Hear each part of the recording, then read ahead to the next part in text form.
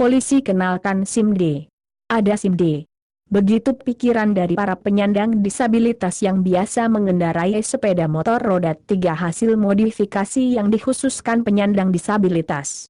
Hal ini menjadi dasar Satlantas Polres Semarang mengedukasi para penyandang disabilitas di Kabupaten Semarang agar memiliki SIM D yang dikhususkan untuk mereka.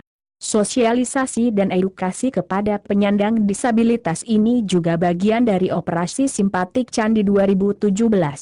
Acara bertajuk Motivasi Keselamatan Komunitas Penyandang Cacat atau disingkat Mata Kaca itu digelar Rabu, 15 Maret 2017. Seperti dikutip dari laman liputan6.com dalam acara itu, petugas Satlantas Polres Semarang kemudian memperagakan ujian praktik menggunakan motor roda 3. Halang rintang yang digunakan masih sama seperti motor standar, hanya saja jarak antar kon diperlebar agar motor roda tiga bisa melintas.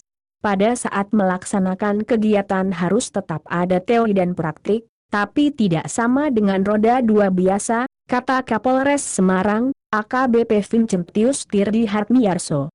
Menurut Tirdi, keselamatan berkendara merupakan hak bersama, termasuk penyandang disabilitas. Begitu juga dengan kelengkapan surat-surat berkendara. Maka itu, perlu motivasi agar penyandang disabilitas membuat SIM. Banyak keluarga kita yang kekurangan harus dimotivasi, kata dia. Kasat Lantas Polres Semarang AKP Dwi Nugroho menambahkan, selama beberapa bulan terakhir tidak ada yang membuat SIM padahal, cukup banyak penyandang disabilitas yang mengendarai motor roda tiga. Dwi menyadari sampai saat ini memang masih belum ada produsen motor yang memenuhi kebutuhan penyandang disabilitas.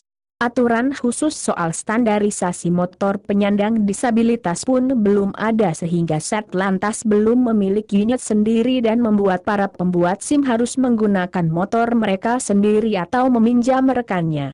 Produksi untuk kendaraan disabilitas belum ada. Kita juga tidak punya unitnya, sehingga harus memakai motor sendiri, kata Dwi.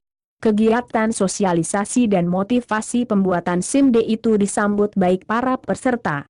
Perwakilan Perkumpulan Penyandang Disabilitas Indonesia Kabupaten Semarang, Beni mengapresiasi langkah Set Lantas Polres Semarang.